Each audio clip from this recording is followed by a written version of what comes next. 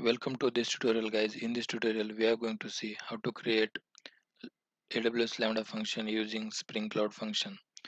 The main advantage of using Spring Cloud function with AWS Lambda is it enables Spring Boot features like auto configuration, dependency injection, metrics like that on AWS Lambda. So let's begin. There are two ways of creating Spring Cloud function. First one is create a method which returns a function. So in our case it's a uppercase method which returns a function. So it's simply takes the input as a string, uppercases it and returns as a string. So this method is needs to be provided and exposed as a bean of type function.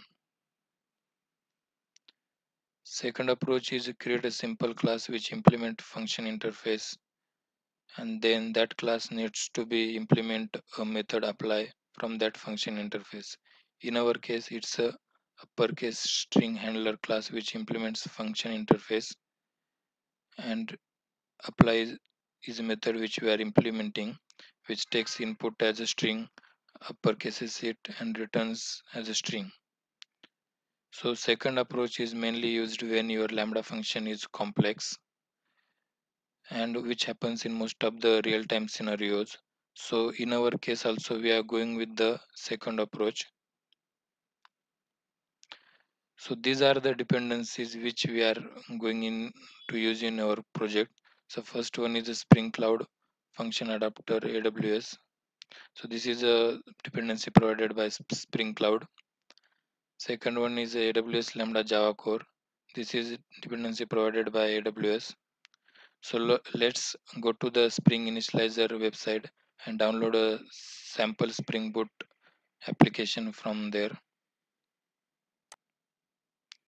So this is a spring Initializr website. So i'm just downloading the sample project here. So now i will import this project in eclipse. Now our downloaded project is ready to use. What i will do is first uh, copy the dependencies paste it here.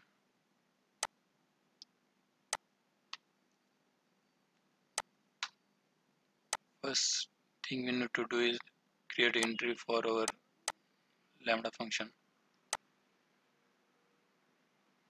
So here I will create a class spring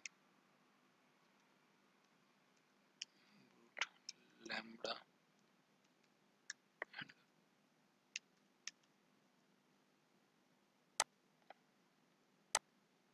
Which extends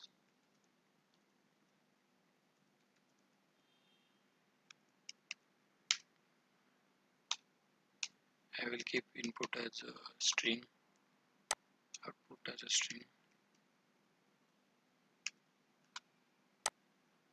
so spring boot request handler is the class which we need to extend.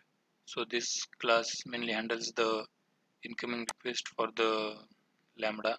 So when lambda gets uh, triggered so handle request method gets invoked from this class.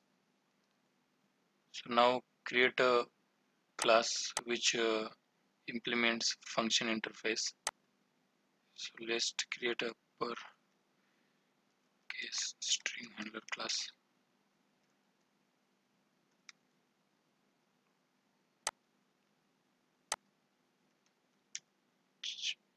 Implements.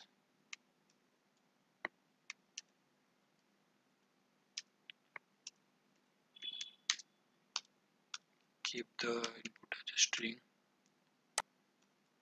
Output as a string. So it will ask us to implement apply method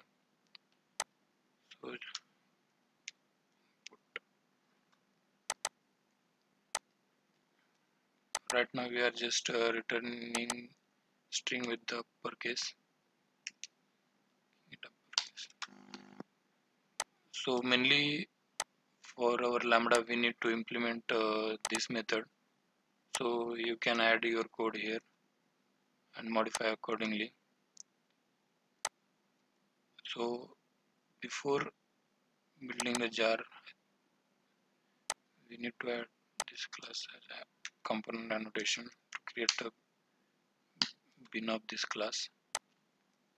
We need to add it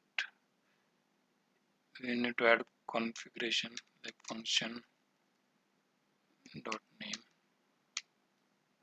And we need to add the name of the bean here so in this uh, in our case it will be a small u so now our uh, lambda function is uh, ready to deploy. So before building jar let me copy the maven plugin.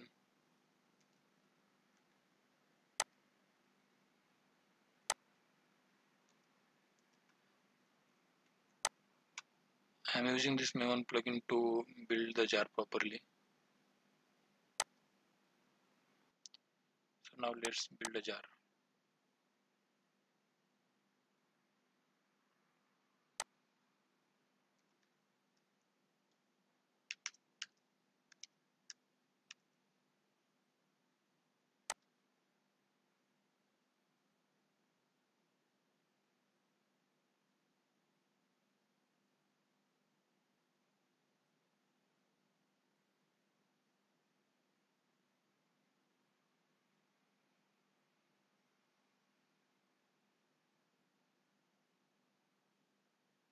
so now our jar is ready.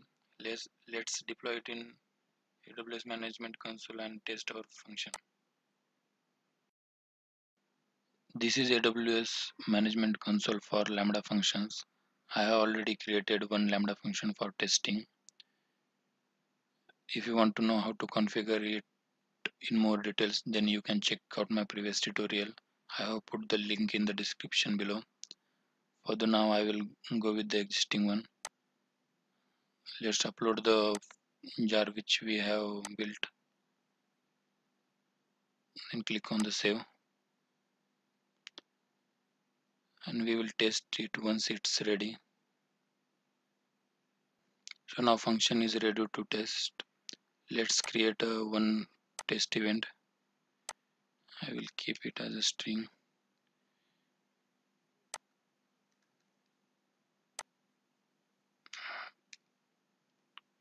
give me this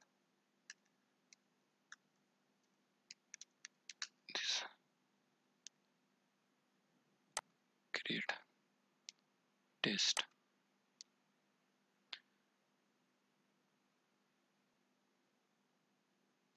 So our lambda function has executed successfully. Let's check the log. So it's giving the output in the capitals so our lambda function is uh, running properly. I hope you guys enjoyed the video. Please hit the like button if you like the video and leave some comments. And don't forget to subscribe to the channel for more videos like this. Thank you